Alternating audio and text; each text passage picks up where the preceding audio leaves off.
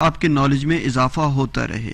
Home tab हमारा complete हो गया था। आज हम करेंगे इंसर्ट इंसर्ट में है pages tables illustrations apps media link comment header and footer text and symbols तो पेजेस के अंदर है कवर पेज कवर पेज अब किसी बुक का कवर पेज तो इस तरह होता है कि सबसे ऊपर टाइटल होता है, फिर उसके बाद ऑथर का नेम होता है, उसके बाद उसका जो है, अगर ट्रांसलेशन हुई है तो ट्रांसलेटर का नाम होता है। अगर वॉल्यूम उसके हैं तो वॉल्यूम नंबर आता है। तो डिफरेंट कवर कवर पेजेस होते हैं और डिफरेंट उनकी वो डाटा होता है, ठीक है? तो अभी इसमें से कोई भी आप स्टाइल ले लें, ठीक है? ये स्टाइल बने बनाए हैं, इसमें ढेर सारे हैं। आप स्क्रॉल नीचे करेंगे तो काफ़ी सारे स्टाइल्स हैं। ये वाला भी है। इसमें बस आपने इधर अपना वो पुट करना होगा, जो उसका टाइटल वगैरह है, जो उसकी डिटेल है, वो आपने टाइप कर देनी है। और इसको अगर कोई ख़त्म बीच में से चीज़ें टैक्स करना चाहते हैं, वो ख़त्म कर दें, जो आपको नहीं मुनासिब लग रही, या कुछ इसमें डालना चाहते हैं तो कोई पिक्चर वगैरह इसमें डाल दें। तो ये इन्होंने कवर पेज दिया हुआ है। इसके बाद है ब्लैंक पेज ब्लैंक पेज का इस्तेमाल ये है कि जब आप एक डॉक्यूमेंट आपने तैयार कर लिया है तो उसके अंदर आपने उसके मिड में जाके या किसी जगह पर जाके आपने कोई पेज इंसर्ट करना है नया तो उसके लिए यूज़ होता है। तो यहाँ पे आप, जहाँ पे आपने इंसर्ट करना है पेज, वहाँ पर क्लिक करेंगे और ब्लैंक पेज पर क्लिक कर देंगे तो दरमियान में एक आपको एम पेज मिल जाएगा। उसके अंदर आप डिटेल जो भी टाइप करना चाहते हैं, टाइप कर सकते हैं। तो हमारे पास तो मोस्टली ये होता है कि इंटर के साथ ही वो काम चला लिया जाता है, लेकिन यहाँ पे आपको फैसिलिटी मौजूद है कि एक क्लिक आप करें और आपका नया पेज इंसर्ट हो जाएगा।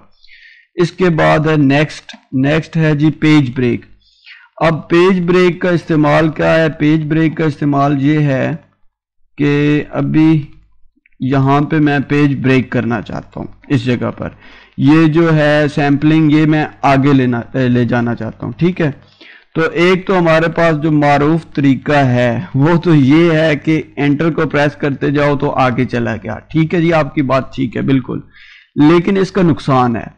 अगर आपने एंटर के साथ इसको आगे ले गए तो फिर आप जब पीछे कोई फॉर एग्जांपल इसी डिटेल को अब इधर मैं जो है ना एंटर के साथ मैंने किया है ना तो अब मैं इसके अंदर ये डिटेल इंटर करूँगा कॉपी पेस्ट किया है।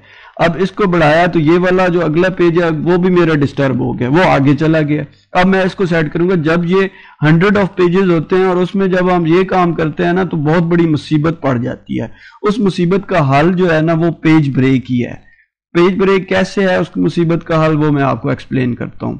एक मिनट, जो मैंने इसमें डाटा कॉपी किया था ना वो उसको मैं ख़त्म कर दूँ। अच्छा अभी सैम्पलिंग को मैं वापस उसी जगह ले आता हूँ। जो इंटर के साथ मैं ले गया था, ठीक है? अब इसको मैं करूँगा पेज ब्रेक, ठीक है? पेज ब्रेक मैंने कर दिया, वो अगले पेज पे चला गया। नीचे जगह खाली होगी। अब इसके अंदर मैं इन्हीं लाइनों को कॉपी किया और इनको अगेन जो है ना, पेस्ट कर दिया, ठीक है? अब पेस्ट किया है तो वो अगला पेज मेरा डिस्टर्ब नहीं हुआ। ये हुआ है किसकी वजह से? पेज ब्रेक की वजह से। अगर मैं इंटर करता तो फिर क्या होना था कि अगले मेरे सारे के सारे पेज डिस्टर्ब हो जाने थे। तो हमारे पास जो मारूफ तरीका चलता है, इंटर वाला, वो यहाँ पे बहुत बड़ा जो है ना ट्रबल कर देता है। अगर आपकी हंड्रेड पेजेस की फ़ाइल है या टू हंड्रेड पेजेस की फ़ाइल है तो आपको पढ़ मुसीबत जाएगी, ये इंटर की वजह से। इसलिए आपने अगर बड़ी फ़ाइल बनानी है तो उसमें प्लीज़ प्लीज़ जो है ना, आप इंटर यूज़ ना किए करें। पेज ब्रेक करने के लिए प्रॉपर पेज ब्रेक यूज़ करें ताकि आपको प्रॉब्लम ना हो। ठीक है? नेक्स्ट है हमारा इंसर्ट टेबल टेबल्स ठीक है? तो इसमें जी इंसर्ट टेबल में क्या है कि हमें ऊपर शॉर्टकट में उन्होंने दिए हुए हैं दस कॉलम और आठ रोज ठीक है?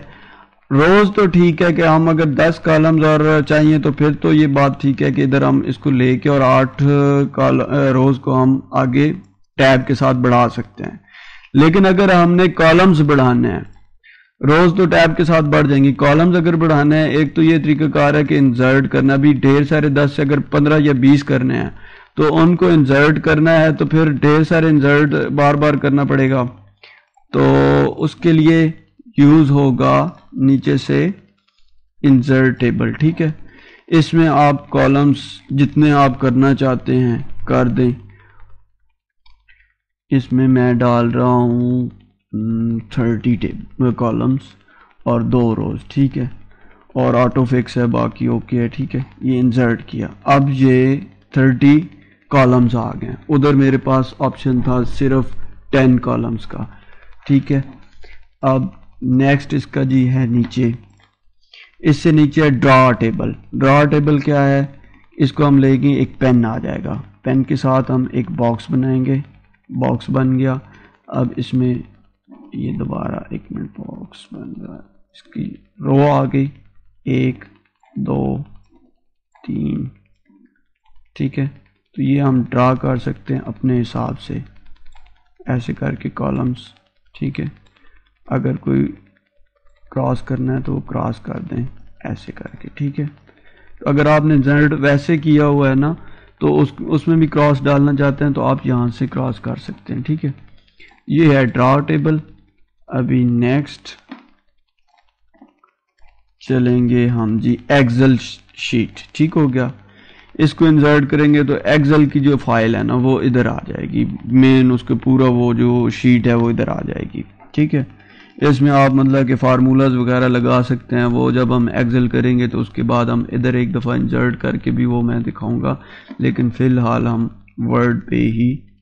उसके नीचे है जी क्विक टेबल क्विक टेबल में डिफरेंट टेबल उन्होंने बना के दिए हुए हैं। आप वो इंजर्ट करना चाहते हैं, इधर से इंजर्ट कर सकते हैं, ठीक है? अभी हम वापस एक टेबल बनाएँगे और उसकी पूरी सेटिंग समझेंगे, ठीक है?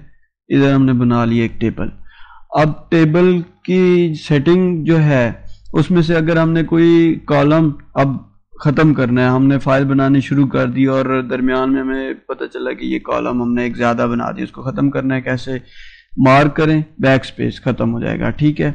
अगर हमने इसमें इंजर्ट करना है, नया एक कॉलम तो उसके लिए राइट क्लिक करना है, ठीक है?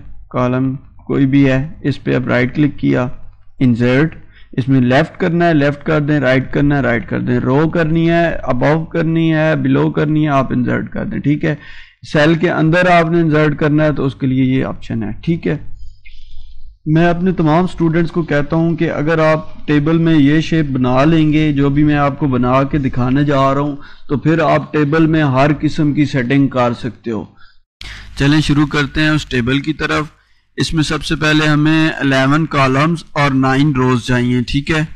तो इसको डेल किया और insert 11 rows and 9 column sorry 9 rows and 11 columns इसमें सबसे पहले हम इधर से पाँच एक साइड से शुरू करते पाँच मार्च कर दिए, ठीक है? फिर चार मार्च कर दिए, फिर तीन और इसी तरह दो, ठीक है? फिर नीचे से दो, फिर तीन, फिर चार और फिर पाँच, ठीक है? इसी तरह हम दूसरी साइड को भी कर लें। जब हम दूसरी साइड से भी कर लेंगे तो इस तरह का टेबल बन जाएगा, ठीक है? अभी ये मैं इनको एक कलर देता हूँ। ताकि आपको पता चले कि ये किधर से किधर तक है। ये जो है ना, हमारा टेबल मेन है, ठीक है? अब इसकी जो साइडें हैं, इनको हमने ख़त्म करना है। तो ख़त्म कैसे करना है? टेबल में जाएँगे ड्रा टेबल ड्रा टेबल से भी हम ले सकते हैं और ड्रा टेबल करेंगे तो ये जब पेन आएगा, इसको जब शिफ्ट हम प्रेस करेंगे तो ये रेजर बन जाएगा, ठीक है? ये यहाँ से भी आता है और जब हम टेबल को वैसे मार्क करते हैं ना, ऊपर डिज़ाइन और लेआउट आ जाता है, ठीक है? तो लेआउट के अंदर यहाँ पर रेजर ऑलरेडी मौजूद होता है, लेकिन मैंने लेआउट बाद में कराना है सारा तो मैं उधर से ही सारा कुछ करा रहा हूँ, ठीक है? लेआउट में भी वही चीज़ें हैं, लेकिन मैं उधर से डायरेक्ट ऑप्शन से निकाल रहा हूँ, ठीक है? तो बहरहाल हम ये रेजर के साथ इसको, ये चीज़ें खत्म कर देंगे इसकी, ठीक है? ये जो है, मैं कर देता ये मैंने उसको सारे को रेज कर दिया। जब रेज हो जाएगा तो ये शेप बनेगी। अगर ये शेप आप टेबल में बना लेते हैं ना तो फिर आप कोई भी स्ट्रक्चर आपको दे दिया जाए ना कि ये बनाएँ।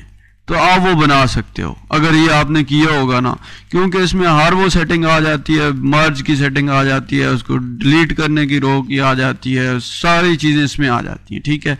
ये अब टेबल वो शेप बन गई अगर ये शेप आपने बना ली, आप घर में एक दफ़ा ट्राई करें, ये आपने बना ली तो फिर आप चैलेंज कर दें कि भाई टेबल की कोई शेप ले आओ, कुछ भी बनाना है, आप मुझे बताओ, मैं बना देता हूँ। आप तैयार। टेबल सेटिंग में अभी सिर्फ़ बॉर्डर रह गया है।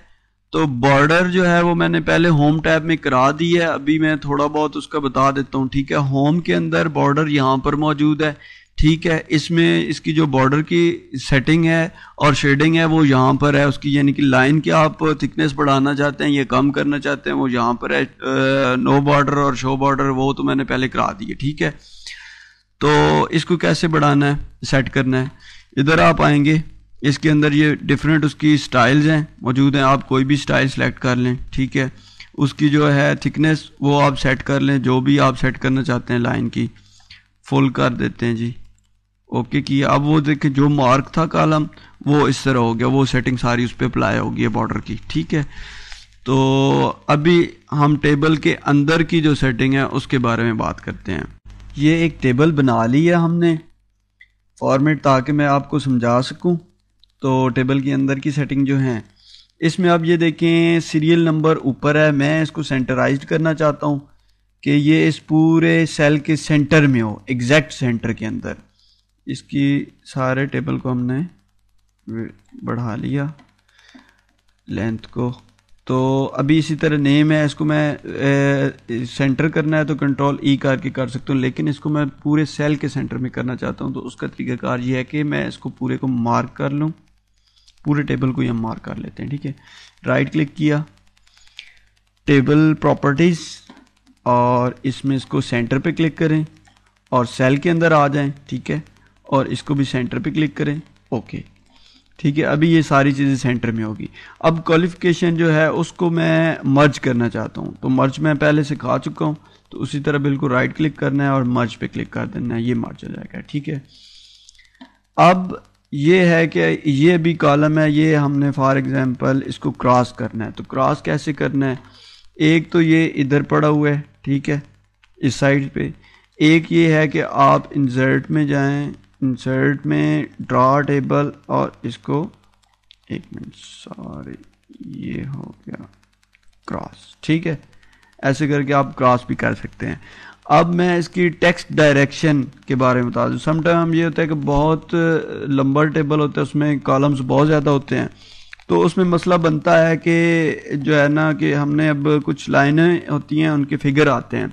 लेकिन उसके जो ऊपर टाइटल होता है, वो काफ़ी लंबा होता है। उसको सेटिंग ये होता है कि हम ऊपर की तरफ़ कर सकते हैं या नीचे की तरफ़ उसको सेट कर सकते हैं। वो कैसे करेंगे? वो हम करेंगे, अभी नेम को ही कर लेते हैं, ठीक है? नेम को राइट क्लिक करें।